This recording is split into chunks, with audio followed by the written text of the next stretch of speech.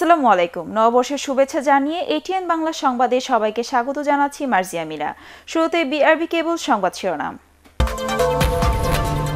আজ পহেলা বৈশাখ, বাংলা নতুন বছর। চোদ্দশো সাতাশকে ঘরে থেকেই বরণ করবে বাঙালি।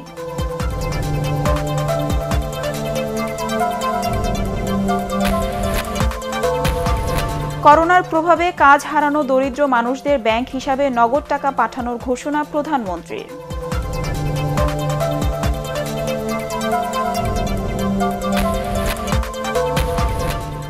সামাজিক দূরত্ব বজায় রাখা সম্ভব না হওয়ায় সারা দেশে দশ টাকা কেজি দরে চাল বিক্রি কর্মসূচি স্থগিত, জানালেন খাদ্যমন্ত্রী।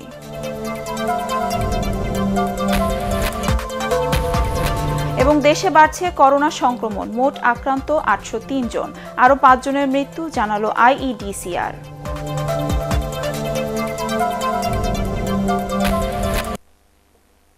শুনছিলেন বিআরবি কেবল সংবাদ শিরোনাম। এবার বিস্তারিত। আজ পহেলা বৈশাখ। শুরু হলো বাংলা নতুন বছর চোদ্দশো সাতাশ। প্রাণের উৎসব আয়োজনের মাধ্যমে নতুন বছরকে বরণ করার কথা ছিল।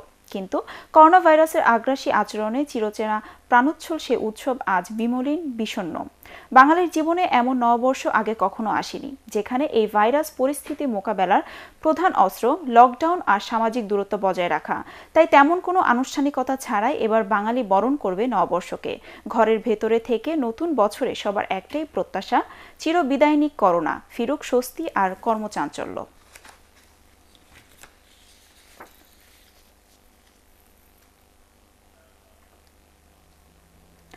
করোনা ভাইরাসের প্রভাবে কাজ হারানো দরিদ্র মানুষের তালিকা করে তাদের ব্যাংক হিসাবে নগদ টাকা পাঠানোর ঘোষণা দিয়েছেন প্রধানমন্ত্রী শেখ হাসিনা। পাশাপাশি অর্থনীতিতে এর বিরূপ প্রভাব কাটিয়ে উঠতে এবার তিন বছর মেয়াদে আর্থিক প্রণোদনা সহ নতুন পরিকল্পনা ঘোষণা করেছেন তিনি। বাংলা নববর্ষকে সামনে রেখে সোমবার সন্ধ্যায় জাতির উদ্দেশ্যে দেয়া ভাষণে প্রধানমন্ত্রী করোনা আক্রান্ত রোগীদের নিয়ে কাজ করা চিকিৎসকদের জন্য একশো কোটি টাকার বিশেষ সম্মানী দেওয়ার কথাও বলেন। এবার সবাইকে ঘরে বসে নববর্ষ পালনের আহ্বান জানিয়ে তিনি বলেন সরকার জনগণের পাশে আছে। সাহসের সঙ্গে সবাইকে পরিস্থিতি মোকাবেলা করতে হবে। বিস্তারিত জয় এই মামুনের রিপোর্টে। বিসমিল্লাহ রহমান রহিম। প্রিয় দেশবাসী আসসালামু আলাইকুম। এমন বিষণ্ন নববর্ষ বাঙালির জীবনে কখনো আসেনি আগে। করোনা ভাইরাসের কালো ছায়া ঢেকে ফেলেছে বাংলাদেশকে। সেই মুহূর্তে দেশের মানুষকে সাহস দিতে ভরসা দিতে গণভবনের উঠোনে দাঁড়িয়ে প্রধানমন্ত্রী শেখ হাসিনার জাতির উদ্দেশ্যে ভাষণ। এবছর বিশ্বব্যাপী প্রাণঘাতী করোনা ভাইরাসের মহামারীর কারণে পহেলা বৈশাখের বহিরাঙ্গনের সকল অনুষ্ঠানের উপর নিষেধাজ্ঞা আরোপ করা হয়েছে। এটা করা হয়েছে বৃহত্তর জনস্বাস্থ্যের কথা বিবেচনা করে। কারণ ইতিমধ্যেই এই ভাইরাস আমাদের দেশেও ভয়াল থাবা বসাতে শুরু করেছে। আপনারা ভয় পাবেন না। ভয় মানুষের প্রতিরোধ ক্ষমতাকে দুর্বল করে। কেউ আতঙ্ক ছড়াবেন না। আমাদের সকলকে সাহসের সঙ্গে পরিস্থিতির মোকাবেলা করতে হবে। সরকার সব সময় আপনাদের পাশে আছে। করোনার ক্ষতি কাটিয়ে উঠতে এখন পর্যন্ত তিন দফায় মোট পঁচানব্বই হাজার ছশো উনিশ কোটি টাকার বিভিন্ন প্রণোদনা ঘোষণা করেছেন প্রধানমন্ত্রী। তবে অর্থনীতিতে এর দীর্ঘমেয়াদী ক্ষতি কাটিয়ে উঠতে এবার নতুন পরিকল্পনার কথা জানান সরকার প্রধান। তিনি বলেন চলতি অর্থবছরের বাকি তিন মাস আগামী অর্থবছর এবং পরবর্তী তিন বছরের জন্য সরকার চারটি বড় কাজ বাস্তবায়ন করবে। এক সরকারি ব্যয়ের ক্ষেত্রে কর্মসৃজনকেই প্রাধান্য দেওয়া হবে। দুই, অর্থনৈতিক কর্মকাণ্ড পুনরুজ্জীবিত করা, শ্রমিক কর্মচারীদের কাজে বহাল রাখা এবং উদ্যোক্তাদের প্রতিযোগিতার সক্ষমতা অক্ষুণ্ণ রাখাই হলো আর্থিক সহায়তা প্যাকেজের মূল উদ্দেশ্য। তিন, দারিদ্র সীমার নিচে বসবাসকারী জনগণ, দিনমজুর এবং অপ্রতিষ্ঠানিক কর্মকাণ্ডে নিয়োজিত জনসাধারণের মৌলিক চাহিদা পূরণে বিদ্যমান সামাজিক সুরক্ষা কার্যক্রমের আওতা বৃদ্ধি করা হবে। চার অর্থনীতির বিরূপ প্রভাব উত্তরণে মুদ্রা সরবরাহ এমনভাবে বৃদ্ধি করা যেন মুদ্রাস্ফীতি না ঘটে।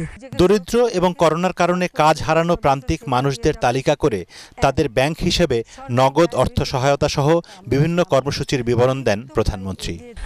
এক স্বল্প আয়ের মানুষদের বিনামূল্যে খাদ্য সামগ্রী বিতরণ করার জন্য পাঁচ লাখ মেট্রিক টন চাল এবং এক লাখ মেট্রিক টন গম বাধ্য করা হয়েছে। দুই, শহরাঞ্চলে বসবাসরত নিম্ন আয়ের জনগোষ্ঠীর জন্য ওএমএস এর আওতায় দশ টাকা কেজি দরে চাউল বিক্রি কার্যক্রম চালু করা হয়েছে। আগামী তিন মাসে চুয়াত্তর হাজার মেট্রিক টন চাল এই কার্যক্রমের আওতায় বিতরণ করা হবে। এর জন্য দুশো একান্ন কোটি টাকা ভর্তুকি প্রদান করা হবে। তিন, দিনমজুর রিক্সা বা ভ্যান চালক, মোটর শ্রমিক, নির্মাণ শ্রমিক, পত্রিকার হকার, হোটেল শ্রমিক সহ অন্যান্য পেশার মানুষ কাজ হারিয়েছেন। তাদের নামের তালিকা ব্যাংক হিসাব সহ দ্রুত তৈরি করার নির্দেশ দেওয়া হয়েছে। এই তালিকা প্রণয়ন সম্পন্ন হলে এককালীন নগদ অর্থ সরাসরি তাদের ব্যাংক হিসাবে পাঠানো হবে। এ খাতে সাতশো ষাট কোটি টাকা বরাদ্দ করা হয়েছে। জীবনের ঝুঁকি নিয়ে করোনা ভাইরাসে আক্রান্ত রোগীদের সেবায় নিয়োজিত চিকিৎসক, নার্স ও স্বাস্থ্যকর্মীদের ধন্যবাদ জানান প্রধানমন্ত্রী। আগে ঘোষিত স্বাস্থ্য বিমার বাইরে তিনি তাদেরকে বিশেষ সম্মানে দেওয়ার কথাও বলেন। যেসব সরকারি স্বাস্থ্যকর্মী প্রত্যক্ষভাবে করোনা ভাইরাস রোগীদের নিয়ে কাজ করছেন, ইতিমধ্যেই তাদের তালিকা তৈরির নির্দেশ দিয়েছি। তাদের বিশেষ সম্মানী দেওয়া হবে। এজন্য একশো কোটি টাকা বরাদ্দ করা হয়েছে। সাধারণ রোগীরা যাতে কোনোভাবেই চিকিৎসা সেবা থেকে বঞ্চিত না হন, সেদিকে নজর রাখার জন্য আমি প্রতিটি সরকারি ও বেসরকারি হাসপাতাল কর্তৃপক্ষকে অনুরোধ জানাচ্ছি। দুস্থ মানুষের সহায়তায় বিত্তবানদের বেশি করে এগিয়ে আসার আহ্বান জানান তিনি। পাশাপাশি ত্রাণ বিতরণে প্রশাসন ও আইন শৃঙ্খলা রক্ষাকারী বাহিনীর সহায়তা নেওয়ার পরামর্শ দেন প্রধানমন্ত্রী। দেশবাসীকে বাংলা নববর্ষের শুভেচ্ছা জানিয়ে তিনি আবারও সবাইকে ঘরে থাকার পরামর্শ দেন।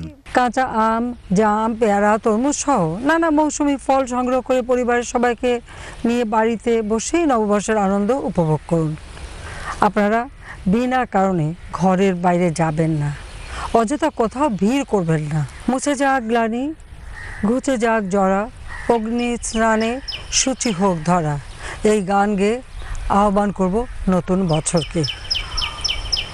অতীতের সকল জঞ্জাল গ্লানি ধুয়ে মুছে আমরা সামনে দীপ্ত পায়ে এগিয়ে যাব গর্ব আলোকোজ্জ্বল ভবিষ্যৎ। সামাজিক দূরত্ব বজায় রাখতে নিয়োজিত আইন শৃঙ্খলা রক্ষাকারী বাহিনীর সদস্য সরকারি কর্মচারী সংবাদকর্মী এবং করোনায় মৃতদের দাফন ও সৎকারে নিয়োজিত সবার প্রতি কৃতজ্ঞতা জানান প্রধানমন্ত্রী শেখ হাসিনা। জ ইমামুন এটিএন বাংলা ঢাকা।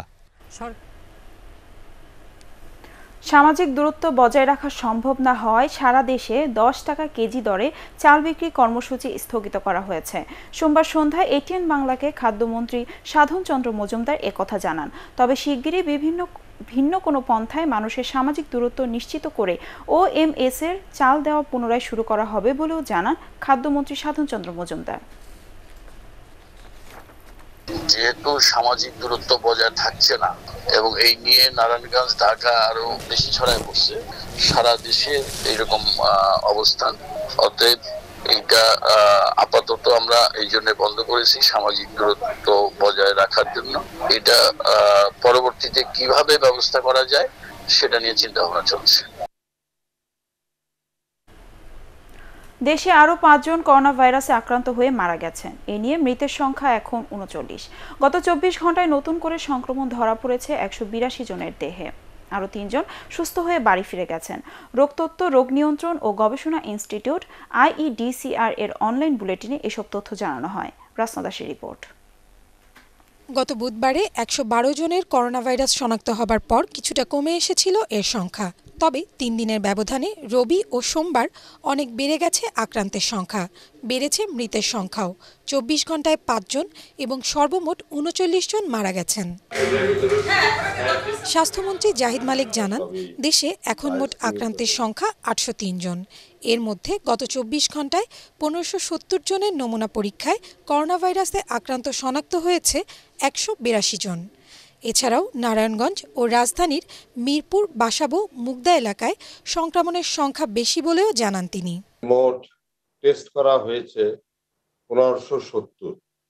তার মধ্যে নতুন সংক্রামিত হয়েছে একশো বিরাশি এবং মোট সংক্রামিত হলো আটশো তিন।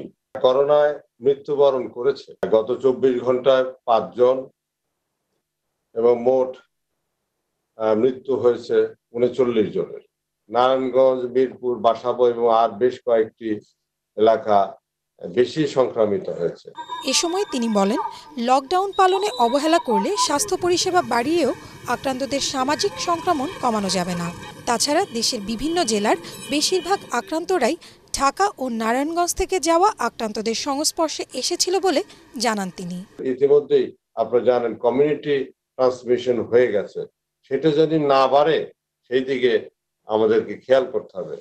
যেখানে সংক্রামিত হয়েছে সেই ব্যক্তিগুলো যারা সংক্রামিত করেছে, তারা বেশিরভাগই ঢাকা থেকে গিয়েছে এবং নারায়ণগঞ্জ থেকে গিয়েছে।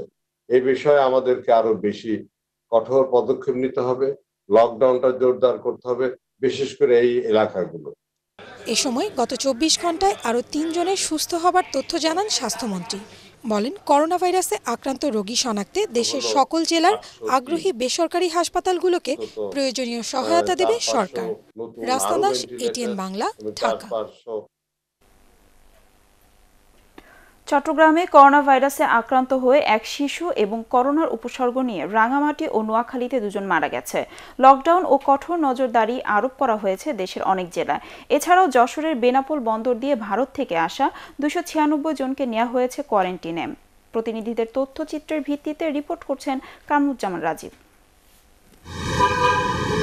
চট্টগ্রামের পটিয়ায় করোনা ভাইরাসে আক্রান্ত হয়ে ছয় বছর বয়সী এক শিশু মারা গেছে। প্রতিবন্ধী শিশুটি অসুস্থ হলে শনিবার পটিয়া হাসপাতালে নেওয়া হয়। পরে চট্টগ্রাম জেনারেল হাসপাতালে নেওয়া হলে তার মৃত্যু হয়। এ নিয়ে চট্টগ্রামের দ্বিতীয় করোনা রোগীর মৃত্যু হলো। রাঙামাটি জেনারেল হাসপাতালে করোনার উপসর্গ নিয়ে পঞ্চান্ন বছরের এক ব্যক্তি মারা গেছেন। রোববার জ্বর, সর্দি, কাশি ও শ্বাসকষ্ট নিয়ে আসলে তাকে আইসোলেশন ওয়ার্ডে রাখা হয়। নোয়াখালীর সেনবাগ উপজেলায় করোনার উপসর্গ নিয়ে এক ব্যক্তির মৃত্যু হয়েছে। ওই ব্যক্তির বাড়ি লকডাউন করে দুই পরিবারের সদস্যদেরকে নজরদারিতে রেখেছে পুলিশ। শ্রীমঙ্গলে গত কয়েকদিনে করোনা উপসর্গ নিয়ে দুজনের মৃত্যুর কারণে মৌলভীবাজার জেলাকে লকডাউন ঘোষণা করা হয়েছে। ঢাকা সহ অন্যান্য জায়গা থেকে মানুষের যাতায়াত ঠেকাতে সিদ্ধান্ত বলে জানিয়েছে জেলা প্রশাসন। বরিশাল শেরেবাংলা মেডিকেল কলেজ হাসপাতালে দুজন রোগী করোনা ভাইরাস শনাক্ত হওয়ার পর জেলা প্রশাসন বরিশাল জেলাকে লকডাউন ঘোষণা করে। রামগঞ্জ ও রামগতি উপজেলায় করোনা ভাইরাসে আক্রান্ত দুজন রোগী শনাক্ত হওয়ায় লক্ষ্মীপুর জেলায় অনির্দিষ্টকালের লকডাউন ঘোষণা করা হয়েছে। ঝুঁকিপূর্ণ হয় লকডাউন করা হয়েছে নেত্রকোনাকে। টাঙ্গাইলে নতুন করে আরও পাঁচজন করোনা ভাইরাসে আক্রান্ত হয়েছে। সংক্রমিত ছয়টি গ্রাম লকডাউন করা হয়েছে। নরসিংদী জেলায় এক সাংবাদিক, চিকিৎসক ও সিভিল সার্জন অফিসের সাত কর্মচারী সহ ষোলো জন করোনা ভাইরাসে আক্রান্ত হয়েছে। এ নিয়ে সোমবার পর্যন্ত জেলায় আক্রান্তের সংখ্যা দাঁড়াল বিশ জনে। এদিকে বেনাপোল চেকপোস্ট দিয়ে গত এক সপ্তাহে ভারত থেকে আসা দুইশো ছিয়ানব্বই জন নারী, পুরুষ ও শিশুকে প্রাতিষ্ঠানিক কোয়ারেন্টাইনে রাখা হয়েছে। কামরুজ্জামান রাজীব এটিএন বাংলা। দেশের এই সংকটে দলীয় চর্চা না করে মানুষকে বাঁচানোর রাজনীতি করার আহ্বান জানিয়েছেন আওয়ামী লীগ সাধারণ সম্পাদক ওবায়দুল কাদের। রাজধানীর সরকারি বাসভবনে এক ব্রিফিংয়ে তিনি বলেন, এ সময় বিভেদের রাজনীতি পরিহার করা প্রয়োজন। দুর্যোগের মুহূর্তে ত্রাণের নামে কোনো ধরনের লুটপাট সরকার সহ্য করবে না বলেও হুঁশিয়ার করে দেন সড়ক পরিবহন ও সেতুমন্ত্রী যে দলীয় রাজনীতি নয়। মানুষকে বাঁচানোই আজকে রাজনীতি। যার যার আদর্শ তার কাছে। আজকে রাজনীতি কোনো মতাদর্শের রাজনীতি নয়। আজকে আমাদের সকলেরই জাতীয় উদ্যোগ প্রয়োজন এ অদৃশ্য শক্তিকে মোকাবিলা করার জন্য। আপনাকে সাহায্য করার জন্য শেখ হাসিনাকে সাহায্য করুন। এটাই সর্বস্তরের জনগণের কাছে আকুল করোনা ভাইরাসের কারণে ক্ষতিগ্রস্ত এক তৃতীয়াংশের বেশি মানুষ সরকারি সহায়তার আওতায় রয়েছেন বলে জানিয়েছেন তথ্যমন্ত্রী ডক্টর হাসান মাহমুদ। রাজধানীর মিন্টু রোডে সরকারি বাসায় সাংবাদিকদের তিনি বলেন, করোনা মোকাবেলায় সরকার প্রয়োজনীয় ব্যবস্থা নিয়েছে। বিএনপিকে বিদেশি লবিস্টদের পেছনে লাখ লাখ ডলার খরচ না করার পরামর্শ দিয়ে জনগণের পাশে দাঁড়ানোর আহ্বান জানান তথ্যমন্ত্রী। যুদ্ধাপরাধীদের বিচার বন্ধ করার জন্য বেগম খালেদা জিয়ার মামলা, বিচার বন্ধ করার জন্য, তারেক রহমানের বিচার বন্ধ করার জন্য তাদের মামলার ব্যাপারে লক্ষ লক্ষ ডলার খরচ করে তারা বিদেশে লবিস নিয়োগ করেছে। অথচ জনগণের পাশে তারা নাই। তাদেরকে অনুরোধ জানাব, বিদেশে নবিস্ময়কে লক্ষ লক্ষ ডলার খরচ না করে সেই টাকা বরং জনগণের জন্য খরচ করার জন্য। করোনা ভাইরাসের সংক্রমণ মোকাবেলায় চরম অব্যবস্থাপনার সৃষ্টি হয়েছে বলে মন্তব্য করেছেন বিএনপি মহাসচিব মির্জা ফখরুল ইসলাম আলমগীর। রাজধানীর তেজগাঁওয়ে জিয়াউর রহমান ফাউন্ডেশনের উদ্যোগে হাত ধোয়ার জন্য বেসিন স্থাপন কর্মসূচির উদ্বোধন উপলক্ষে স্কাইপেতে দেওয়া বক্তব্যে তিনি এ মন্তব্য করেন। তিনি অভিযোগ করেন, করোনা আক্রান্ত হলে হাসপাতালে চিকিৎসা পাচ্ছে না মানুষ। চরম দুর্দিনে সবাইকে ঐক্যবদ্ধ থাকার আহ্বান জানান মির্জা ফখরুল।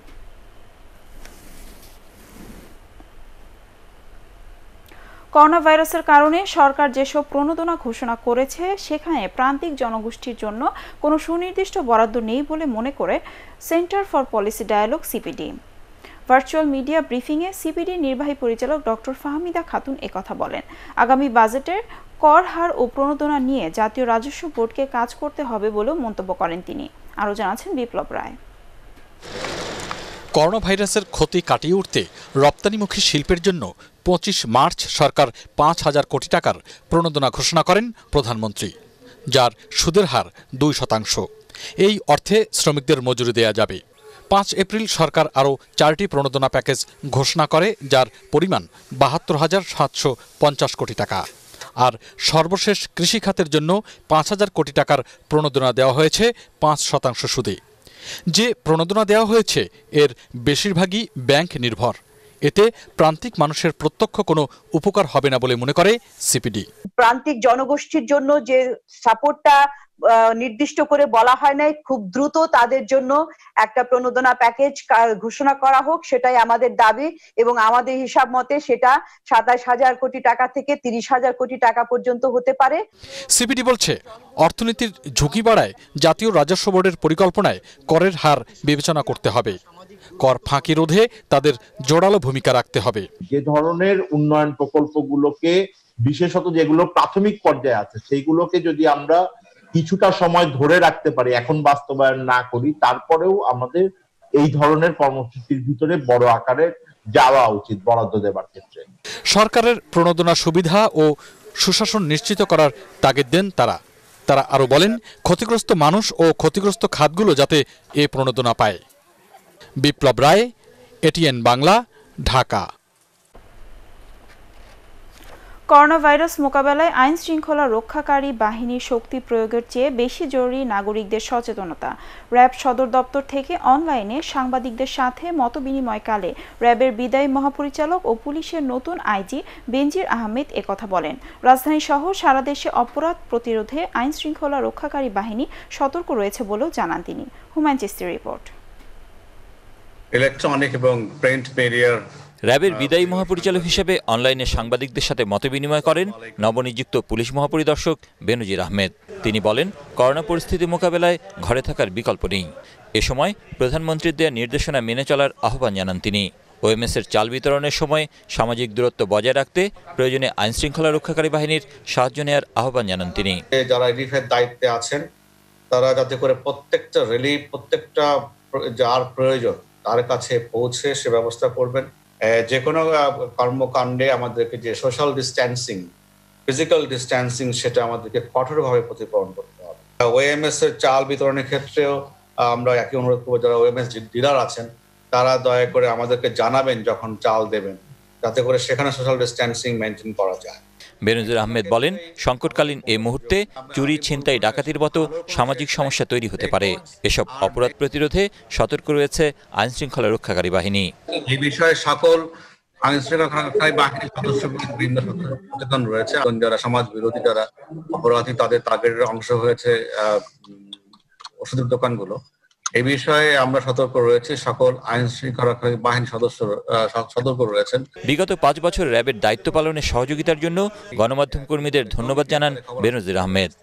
কারণ আমরা হুমায়ুন চিস্তি এটিএন বাংলা ঢাকা। কাজ করব অন্য রাজধানীতে নকল হ্যান্ড গ্লাভস উৎপাদন ও বাজারজাত করার দায়ে একটি প্রতিষ্ঠানকে দশ লাখ টাকা জরিমানা করেছে র্যাবের ভ্রাম্যমাণ আদালত। সোমবার সন্ধ্যায় রাজধানীর পান্থপথে এএসএম ট্রেডার্স নামের ওই প্রতিষ্ঠানে অভিযান চালানো হয়। করোনা ঝুঁকির দুর্বলতার সুযোগে নকল ও মানহীন হ্যান্ড গ্লাভস বিভিন্ন ব্র্যান্ডের নামে বাজারজাত করায় জরিমানার পাশাপাশি প্রতিষ্ঠানটির দুটি গুদাম সিলগালা করে ভ্রাম্যমাণ আদালত। র্যাবের এ ধরনের অভিযান চলবে বলে জানিয়েছেন নির্বাহী ম্যাজিস্ট্রেট পলাশ কুমার কুণ্ড। এবার জানাব আন্তর্জাতিক সংবাদ।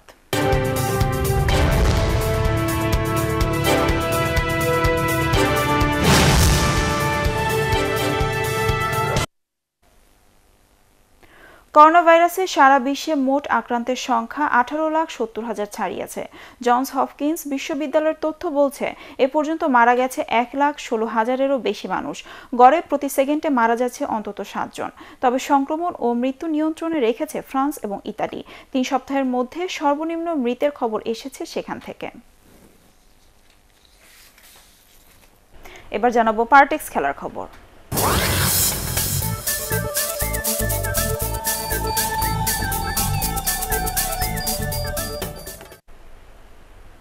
শতভাগ ফিট থাকলে টি টোয়েন্টি বিশ্বকাপে দক্ষিণ আফ্রিকার হয়ে মাঠে ফিরতে চান এবি ডি ভিলিয়ার্স দু হাজার আঠেরো সালে সব ধরনের ক্রিকেট থেকে অবসরের ঘোষণা দিয়েছিলেন তিনি।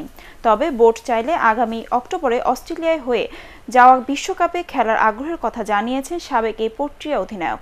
যদিও করোনা ভাইরাসের কারণে সব পরিকল্পনায় ভেস্তে যাওয়ার আশঙ্কা প্রকাশ করেন ডি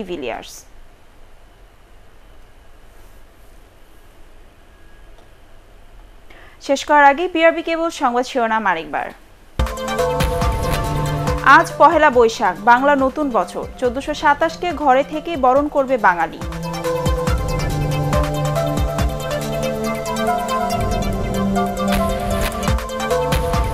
করোনার প্রভাবে কাজ হারানো দরিদ্র মানুষদের ব্যাংক হিসাবে নগদ টাকা পাঠানোর ঘোষণা প্রধানমন্ত্রীর।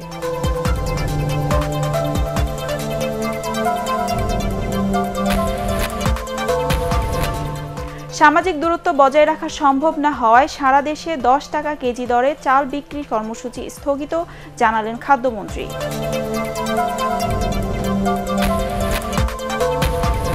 এবং দেশে বাড়ছে করোনা সংক্রমণ, মোট আক্রান্ত আটশো জন। আরও পাঁচজনের মৃত্যু, জানালো আইইডিসিআর।